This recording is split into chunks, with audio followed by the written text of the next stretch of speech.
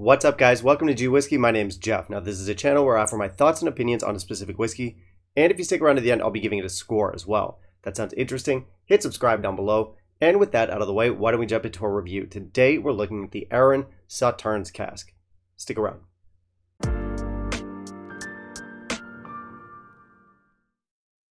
So we're back with another Arran today. I believe this is my 4,000th review of an Arran on this channel. I'm a big fan of the brand. Even though they don't win me over with every bottle, uh, I love their house style, and I like their overall craft approach to making whiskey. Uh, the one we've got today is going to be their Sauternes cask. This is part of their wine finish series. That line also includes a port cask finish, which I recently reviewed on the channel, and you have an Amarone finish in there too. That's one I haven't touched on just yet, but I'm sure I'll get around to it eventually. Uh, all of these whiskeys are going to give us an above average ABV, which means we can expect some pretty full, pretty intense flavors from them. Uh, these are also all no age stated whiskeys. And personally speaking, these no age stated Arrans are not my favorite. I think Arran does its best work with age statements. Anyway, back to our whiskey here. This one's been finished in Sauternes casks. Uh, Sauternes is a sweet wine from France and it's notable for using grapes that are infected with a special kind of fungus that's known as noble rot. Now this noble rot is used in the production of several different dessert wines. What it does is it concentrates the, the sugars inside a grape, giving us a much sweeter, denser character. Now, personally speaking, Sauternes finished whiskeys are not my favorite style of whiskey, although I have had a few good ones, but a lot of people out there do tend to like them just because they have a lighter, less dramatic influence than a lot of other finishes do. Um, what they do is they tend to add an extra layer of sweetness and fruitiness to the whiskey without overwhelming its base flavors. Now, Arran revamped their core range a couple years back, and when they did that, I'm not sure if they made any changes to our Sauternes cask finish here. Um, but for the sake of today's video, I am going to assume that they did simply because they made changes to the majority of their core range. Uh, but yeah, don't hold me to that. Now, I did have the old version of this whiskey, but this is the first bottle that I've tried since the revamp. Um, for the old one, I liked it. I thought it was very pleasant, very drinkable, but I also thought it was kind of forgettable. It wasn't particularly interesting, at least for me. Um, so why don't we find out about this new bottle? Why don't we hop into a review here, see what this whiskey is all about, and in the meantime, if you can kindly leave a like down below, that'd be greatly appreciated. As you may have guessed, we got some pretty decent specs here. Our ABV on this one comes in at 50%. It is of course going to be a non-chill filtered expression, and our color is natural. So, no complaints. So you can check out our natural color here. Um, great looking bottle. I always love these Arran bottles. This one's no different. However, I'm not a huge fan of the yellow color scheme on this one, so probably to knock a point off for that just because it's a little bit less aesthetic in my opinion. Uh, very minor quibble, and I still do like the look of this stuff. So presentation score here is to be 4 out of 5. As always, we got all the info we need on the label. The only thing that's missing here is an age statement. Is this 4, 5, 6, 7 years old?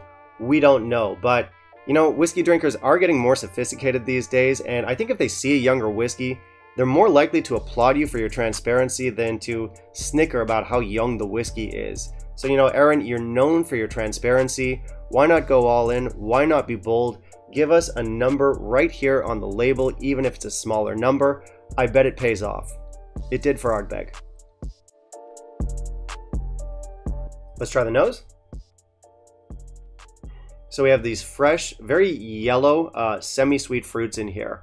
I'm getting golden delicious apples, bananas, pears, some lemon zest.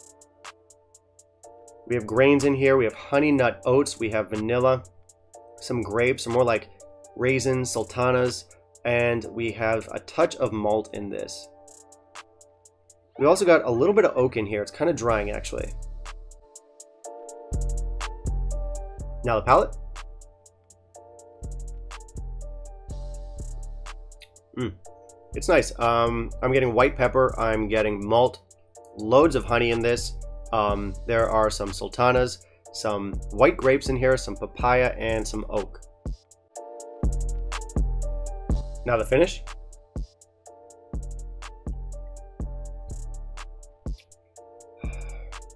Mm. Uh, we're getting more malt in here. We have honey, syrup, pears. Uh, we have some sultanas in here, some oak, and some overripe yellow fruits. Our finish is medium in length. So this whiskey is basically what you think it's going to be. If you're familiar with the Arran House style, if you're familiar with Sauternes finished whiskeys, then this one isn't going to have many surprises in store for you. It's pretty much what you would imagine it to be. Uh, that being said, it is very pleasant. You have some really nice sweet notes in here and some decent complexity. Of course, our Arran base malt here is as clean and as structured as ever, and on top of that, we have those fruity yellow notes and that honey note. Like I said, I do enjoy the sweetness in this whiskey. It's very restrained. It's sweet, but it's measured.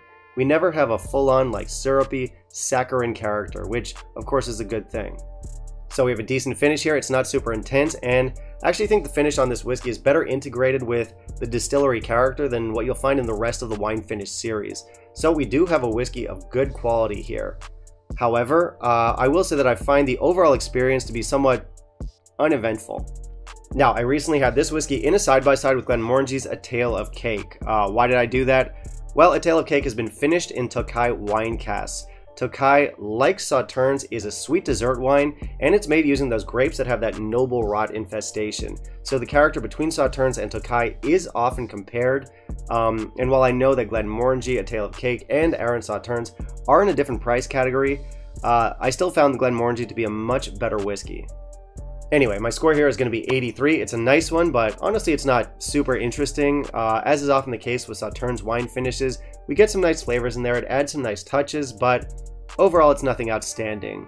Um, luckily, I'm okay with that though, because this is still an Arran whiskey, and regardless of what finish you put on top of an Arran, that base malt, those base flavors that you get from the distillery, are always beautiful.